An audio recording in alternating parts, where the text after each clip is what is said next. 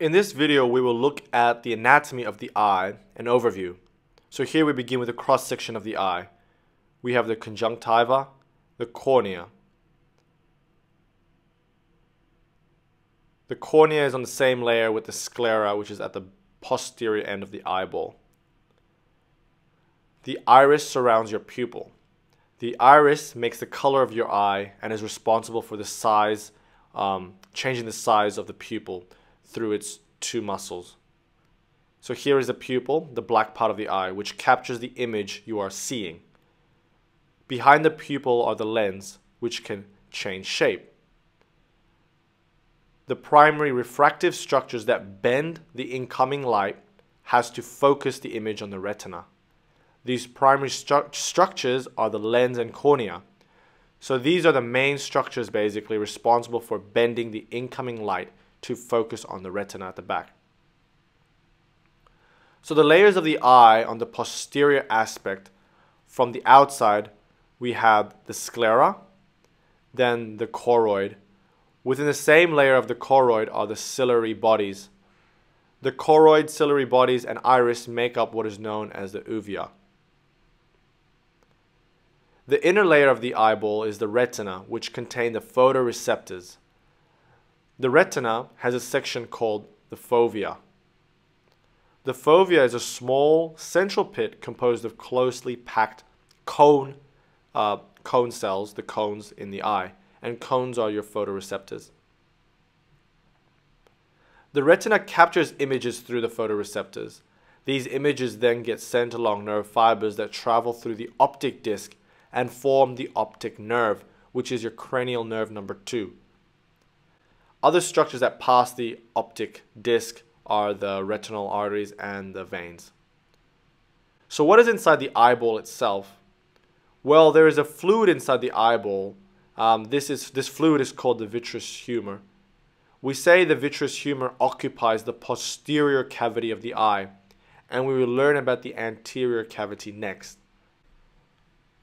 But before going into the anterior cavity and the posterior cavity as well, um, let us just recap the basically layers of the eyeball. So the wall of the eyeball is made up of three layers. So the first layer is basically the fibrous sclera and the cornea, which is in the same layer. The second layer is the choroid, the iris, and the ciliary bodies, which make up the uvea. I think I pronounced that right. And then the third layer is the retina, which contain your photoreceptors, the rods and the cones. So let us zoom into the anterior section of the eyeball here. So here is the anterior section of the eyeball. There is the posterior cavity and an anterior cavity. The posterior cavity is separated from the anterior cavity by the lens. So here is the lens. So here the space anterior to the lens is known as the anterior cavity. And the posterior cavity, as I mentioned, contains the vitreous humor. Here are the ciliary bodies, and coming off the ciliary bodies and connecting the lens are suspensory ligaments. Thus, we can say that the ciliary bodies are responsible for the, for the shape of the lens and we will learn about this later on. But keep note of that. So here is the iris, which is the color bit of your eye, and, and the iris contains muscles which contract or relax and is responsible for how big your pupil is and thus how much light is entering your eye or hitting your retina. Okay, now let us talk about the anterior cavity, which, as I mentioned, is separated from the posterior cavity by the lens but the anterior cavity can be further divided by the iris into the anterior chamber and posterior chamber. The anterior cavity, unlike the posterior cavity, contains a fluid called the aqueous humor. The aqueous humor carries nutrients for the anterior structures of the eye. The aqueous humor is produced by the capillary network within the ciliary bodies, then drain into the canal of Schlemm before entering the blood. Canal of Schlemm is also known as the scleral venous sinus. So here we can see the aqueous humor produced by, uh, from the ciliary bodies and it drains into the canal of Schlemm. This canal is important because obstruction of the aqueous humor drainage can lead to a eye condition called glaucoma. And this is because pressure essentially builds up as fluid as the fluid cannot drain out. And so this will lead to glaucoma, which can damage the, uh, the eye's optic nerve and can result in vision loss and blindness. Next, let us learn a bit about the iris and pupil and its innervations. So here is the eye from the front. The sclera is the white part of your eye. The pupil is the black part of the eye where light enters. Surrounding the um, pupil is the iris. And the iris is the, remember, the color of your eye. And the iris controls the size of the pupil and thus adjusts the amount of light entering the eye. Now let us look at two scenarios where the pupil constricts and relaxes. So pupillary constriction and pupil, uh, pupillary dilation. Remember the iris has two muscles. These are the sphincter muscles and the dilator muscles on the outside. The sphincter muscles are responsible for pupillary constriction, and these sphincter muscles are similar.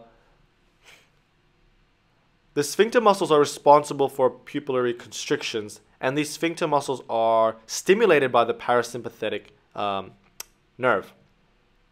Thus, sympathetic stimulation causes pupillary dilation through the dilator muscles. So when you're in fight or flight response, you have dilated pupils, so you can see more. Next topic in this video, we will look at accommodation, the lens and ciliary bodies. So again, just recapping, we have a cross section of an eyeball. The fovea here contains a lot of cones, the photoreceptors, a particular type of photoreceptor and um, and where most of the image uh, from the pupil is basically captured, the fovea. The fovea is within the layer called the retina, and the retina, as I mentioned, contains the photoreceptors, which send information to the nerve fibers that make up the optic nerve, and the optic nerve is cranial nerve number two. As light passes through the eye, it is bent by the cornea and the lens, and is focused on the retina. So here is the cornea and here is the lens. These are the primary structures responsible for focusing the light entering the eye and it focuses on the fovea at the back. The lens is an elastic uh, structure consisting of transient fibers. Here is a lens, but things can happen to the lens. The fibers of the lens can become opaque. This can result in no light entering the eye. This condition of the lens becoming opaque is called cataract. Okay, now, the greater the lens curvature, the more light bends. The ability to adjust the strength of the lens is known as accommodation. So basically, the ability to constrict, um, make the lens tight, is known as accommodation. And let us look at uh, that now and by looking at two different scenarios. So the strength of the lens depends on its shape, okay, which is regulated by the ciliary, bod, uh, ciliary muscles. So if you remember your anatomy, here is your ciliary system.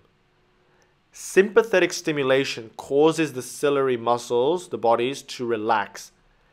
And this will cause the lens to flatten and weak so it will basically make it relax.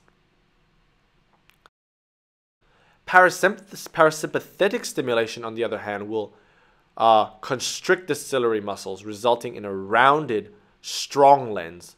So it's adjusting the strength of the lens for accommodation, remember. And these changes that the lens can perform by being, you know, as I mentioned, round and stronger is known as is part of accommodation. Okay, so how does accommodation work? Well, if you see an object far away, so a far source, there is no accommodation. and your lens do not need to change. When there is no accommodation, the ciliary muscles are relaxed and thus the lens are relaxed.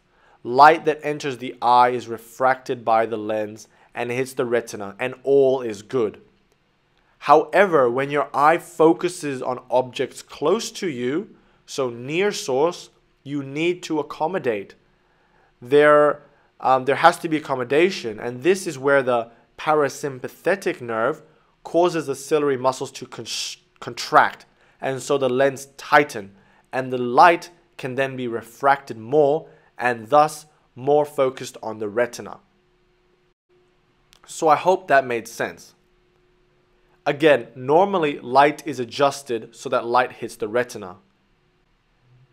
There is a condition, however, where the lens change with age. This is known as presbyopia, and this results in a reduced ability to accommodate. Thus, light is refracted everywhere and doesn't really hit the retina, and so vision becomes blurry. So I hope you enjoyed this video on the anatomy of the eye. Thanks for watching.